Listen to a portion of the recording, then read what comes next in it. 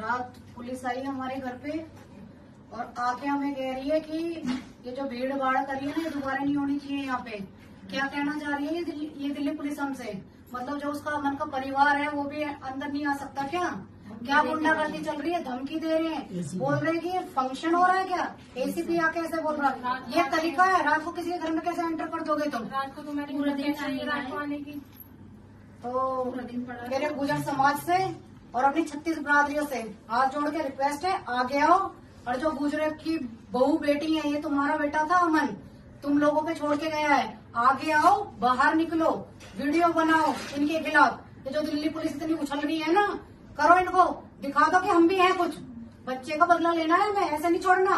वो खुलेआम घूम रहे हैं। हम अपने घर में बैठ के रो रहे हैं। क्या इंसाफ मिल रहा है हमें। थाने में वो थाने में बैठ- के चाय पी रहे हैं। हमें दिखाया जा रहा है। सभी का बेटा है मतलब है अगर किसी पे आरोप लगा किसी का किसी पे आरोप लगा चाहे वो कुछ कोई अभी साबित हुआ या नहीं हुआ उससे कोई मतलब नहीं। अभी वो आरोपी है तो उनके साथ पुलिस किस ऑडेसिटी से फ़ोटो भिजवा रही है? इसका क्या मतलब बनता है कि आपकी गिरफ्तारी में इंक्वायरी के लिए किसी को बिठा रहे हैं? और फ़ोटो खिंचाने का मतलब वहाँ पे बहुत शर्मनाक चीज़ है जो दिल्ली पुलिस ने करी है।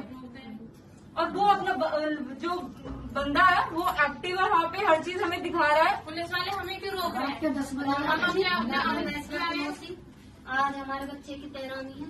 हम नोएडा से जब दिल्ली में एंट्री करी सेक्टर ग्यारह में जैसे हम घुसे हैं चप्पे चप्पे पे पुलिस खड़ी है। जिस गाड़ी पे यूज़र लिख रहा हो वही लोग कहीं कह रहे भाई कौन जा रहे हो?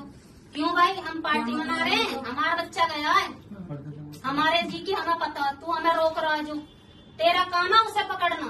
या बेगुनाह का जिसका औलाद चलेगी उसे पकड़ेगा तू। रात में ग्यारह बजे आके तुझे हमारी बहन हमारे जीजा से कहने का क्या हक है? और आके हमें ये बता रहा ये मानो एस एच ओ तुम्हारे घर आया है।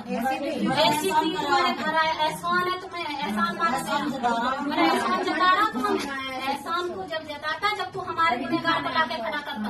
जब मेरा समाज इकट्ठा हुआ मेरी छत्तीस बिरादरी इकट्ठी हुई थी जब कैसे तेरी गर्दन झुकी? भाई हाथ जोड़ के रिक्वेस्ट है। हमारे बच्चा नहीं है वो आप सबका बच्चा है।